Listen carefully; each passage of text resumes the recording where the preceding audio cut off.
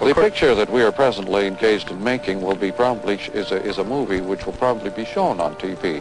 When it is shown on TV, will it be a movie or TV? We don't need a script.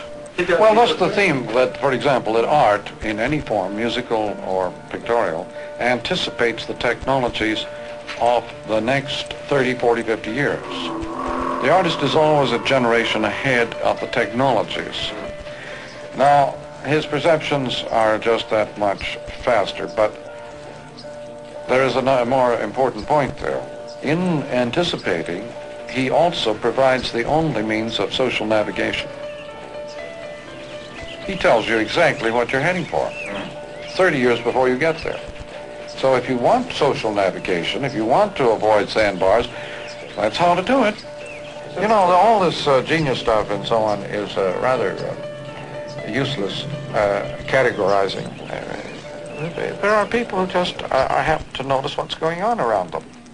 Why the hell call them geniuses? They're awake. Uh, they're, uh, most people would rather sleep it out. You know, normal people in normal situations tend to black out nearly the whole thing in the interests of comfort. Ordinary perceptions are deliberately deadened to permit life to be bearable. The artist is a sort of nut who's always trying to pep up perception. It really drives people crazy.